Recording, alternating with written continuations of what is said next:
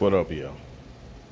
So, in this video, we're going to talk about foundations and um, having a strong or a adaptive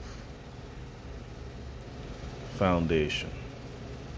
What am I talking about? I'm talking about your nutrition. So, if you're not well inside, you're not going to feel well outside. You know, the previous video we were talking about your mental aspect, but now we're talking about interior. How do you feel?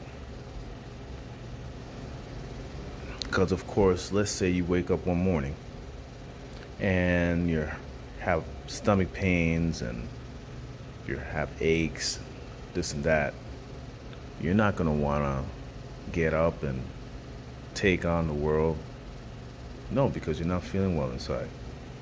So, what we want to do is make sure what we're putting inside our bodies is good for us, pure. Well, nowadays it's hard to get anything pure, but what I mean is nutritional.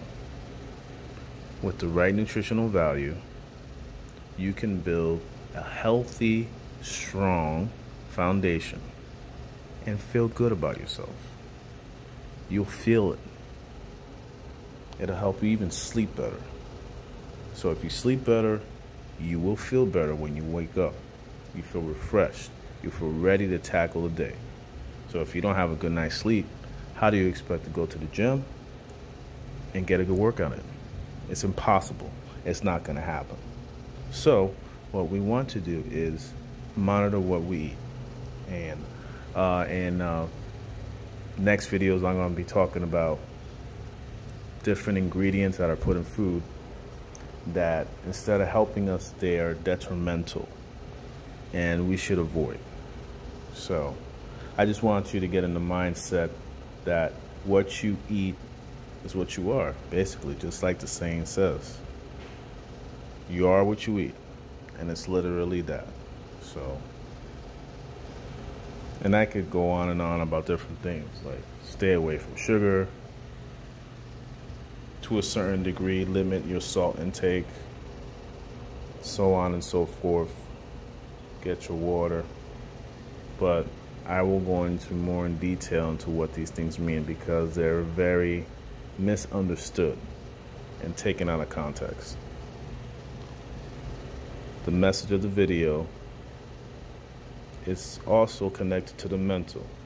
You start thinking, I need to be careful what I put inside my body.